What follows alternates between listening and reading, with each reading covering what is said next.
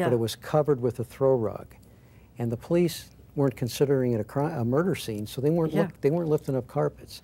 So how, do you, how nervous do you think he was? Handcuffed with a blood stain right there and a body in a, in a uh, trash barrel in a storage facility about three miles away. Like a Hitchcock movie. Exactly. And then, then he's in county jail trying to figure out what to do. He's got a body in a storage facility that needs to be moved. And had that body gotten moved, this case might never have been made. Yeah. And of course, the couch he had given away to somebody because it had the stain on it. He gave it to one of his cohorts, George Jasic, who was kind of like a, Stephanie Sparagna called him a lackey, Steinberg's lackey. And uh, yeah, Steinberg made, made a lot of mistakes for as bright as he wants Yeah. people to believe that he is. What did he call himself? White Terror, Storm Terror in Uh, his Silent Thunder. Silent Thunder. Yeah. That was his the name he gave himself in jail on all the kite notes and, and whatnot. Now, could he have put a, a hit on you? I think he tried to on several occasions. I got word from people that he was trying to reach out and have somebody hit me. There was a kite note that uh, the LAPD found, or maybe it was the sheriff's department when they raided the cell, and there was a list of people on a hit list, but they couldn't tie it to him because it was not in his handwriting. But they believed that he was orchestrating it. Yeah. Matter of fact, they even sent patrol cars in, in Phoenix to my mother's house at the time. They were very concerned.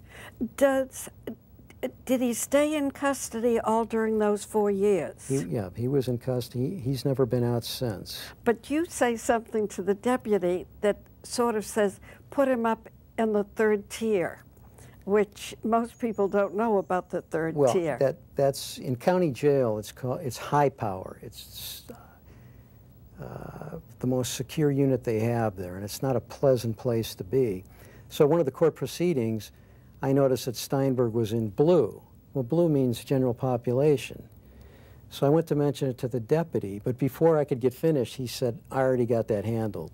And he Yeah. had called downtown. The next day, he was in high power in the orange jumpsuit, and, his, and I, one of Steinberg's cronies was in the courtroom. I, I told him uh, to relay that to Steinberg. I said, that's compliments to Dennis Walsh and the Walsh brothers.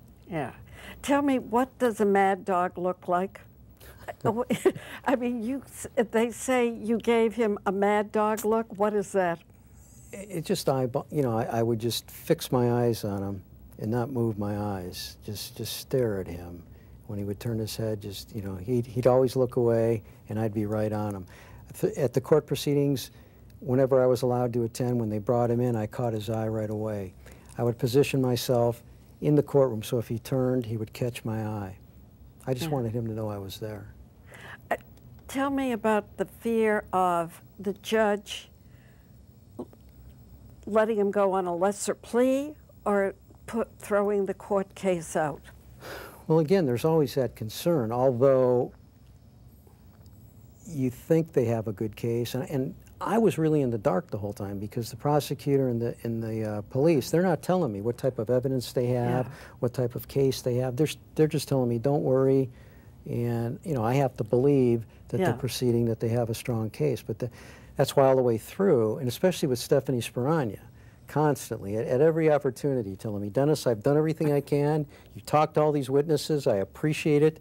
But you tainted them. They're going to put you on trial if these guys walk. So I lived with that for four and a half years. That was a great concern of mine because you never know what's going to happen in the courtroom. Look at the OJ case. At the end, when you're put on trial, I mean, you're put up for uh, a witness, um, they called you to court. Right. What happened? Well, throughout the proceedings, I was barred because of the court order. Now, after Yeah. two years, Stephanie finally lifted that, and I was allowed to attend the pretrial proceedings, which, which was a relief, and it was nice to be there. But at trial, since I was a witness, I couldn't sit in during the trial. Yeah. So I'd have to get information from everybody else, other people that were in there. And when they finally called me as a witness, it's what I had been waiting for to tell my side of the story that although throughout the trial they they had been painting me as an agent of the police and tainting witnesses and telling witnesses what to say and threatening witnesses, I got to tell what I did and why I did it. And at the end, no matter what the defense would say, Steph, mm. Stephanie Sparagna would ask me, what was it you were asking this witness or all these witnesses to do? I said, go to the police. And that's what she mm-hmm. asked each one of them when they were Yeah. on the stand. And the jury bought that. They didn't buy the nonsense that the defense was trying to create. What was the final verdict on Steinberg? He's in jail for how long? He got two terms of life without parole, plus another 56 years, I believe. Jeffrey Weaver was convicted on second degree murder. He got 40 to life, plus he caught an extra 15 years consecutive for a robbery that he that he did when I was chasing him around. He was trying to get out of the country. He was trying to get money to go to Spain.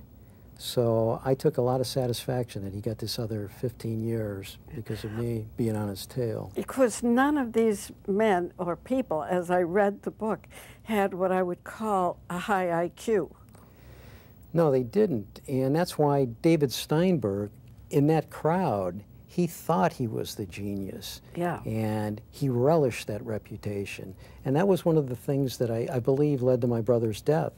After that shooting at the deputy, my brother, like an idiot, moved in with Steinberg. Yeah. And bit by bit, he started to learn that David Steinberg wasn't the genius that he uh, was telling everybody that he was. And I think my brother would embarrass him in front of people and, and insult him, and boy, he did not like that at all. So I, I believe that's truly, aside from killing the witness, another reason why he killed my brother. How was your father throughout this? Well, he was in custody, and again, uh, it was after the murder when I talked to him. Now, I had, I really put this at his doorstep, and I let him have it because I, I said this was the culmination of the path that he had chosen. And the last time I talked to him, he had called me from, he was at the federal Medi- medical facility, uh, federal prison in Rochester, uh, Minnesota. And he told me, handle it, as he would issue his orders. And I said, I'll handle it all right, but this is the last of your messes that I'm cleaning up. And there was a pause, and I could tell, boy, he, you know, he was going to let me have it. He said, What do you think? This is my fault? I said, Yeah, as a matter of fact, I do. Yeah. I said, If you'd have stayed on the police force, your kids would have been uh, policemen, firemen. If you'd have been home every night taking care of your kids, making sure they went to school, he wouldn't have been involved in that lifestyle. Uh, I lit into him and I hung up, and I believe a month or two later he was dead. It was my last conversation with him. And I don't regret that I said what I said. I just regret that I had to say it. yeah. What about your brother Bob? Bobby's out, and he's he's learned his lesson, and I don't hold that against anybody. A lot of people get in trouble, and if you can put it behind you and move on, so he's he's doing fine. You do bring up at the end that they are all now law abiding citizens Right. working in construction or masonry. Right. And I just wish that would have happened years ago. Yeah. How'd your mother go along with this? I mean, because she's a little Ma Barker there a bit. Yeah, and I think that's uh, all those years of just dealing with it and accepting it. And t- to this day, I mean, I've heard people ask her, well, you know, why didn't you leave Bob, my father? She said, because I loved him. And she's just old school. That was her husband. She looked the other way. She didn't want to believe that any of this was going on. Matter Did of fact, she happen to like also the lifestyle that No. he could afford? Well, I'm sure that was part of it. When we moved to California, and I mentioned in the book how my father was bookmaking and dealing with the celebrities, and things got better, and we were able to live in Porter Ranch. I'm sure she liked that end of it. Uh, And uh, meanwhile, you're a great writer. I have to say, my first question to you was, who was your ghostwriter on this? well, I didn't have a ghostwriter. I've always wanted to write. I was in the middle of a work, you know, work of fiction based on my father's life when all this happened, and uh, hopefully this will enable me to keep writing. I think it is. Uh, question: Did your brother have your father have brothers, or, Two brothers. and what did they do? Uh, both of them went to prison. Uh, Also, yeah, uh, one of them just one time. The other's been in and out. My namesake, my uncle Denny. And I mean, that's that's why they're talking about me writing the true story about my father because there's there's a ton. But my uncle Denny actually broke out of Chino when I was I just got my driver's license, and we we took a brand new car to him in Vegas Yeah. after he you know escaped. So I, I just grew up with all that. To me, it was uh, uh, Fine, but was it partly also a glamour to it?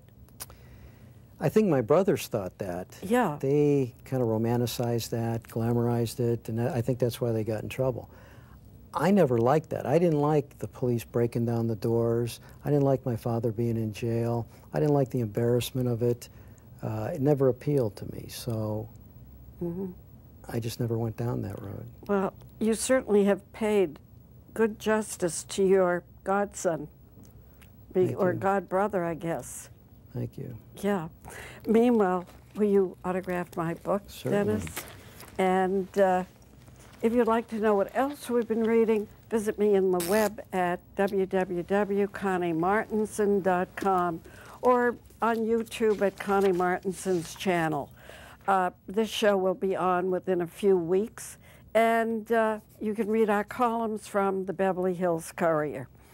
But the most important thing you can do for any child, take them to the library, get them their first library card, and they will learn that grown-ups, like a child has to, you take a book out in a certain condition, you keep it out for the time that you have said you will keep it out, and you bring it back on time in the same condition it was in when you took it out. I think most libraries really will appreciate it. And besides that, that's part of being a good citizen. Did you ever have a library card? Yes, I did. And what did the library mean to you?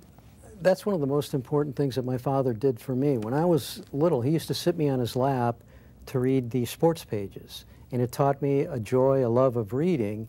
And as soon as I got in school, I went to the library probably every week. And, and again, I applaud you for mentioning that because that's Yeah. one of the greatest things people can do is support It the is. libraries. And then, of course, from there, you became, a, you went to law school. that's correct.